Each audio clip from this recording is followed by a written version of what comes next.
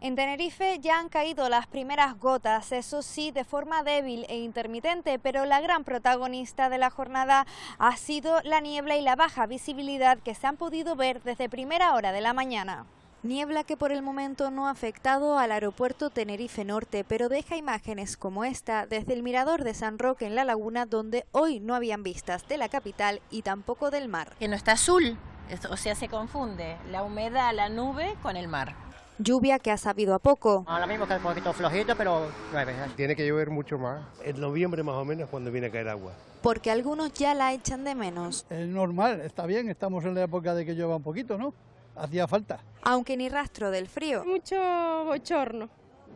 O sea que el tiempo, por mucho que haya llovido, sigue haciendo calor. Tengo mucha calor. Está el mundo al revés.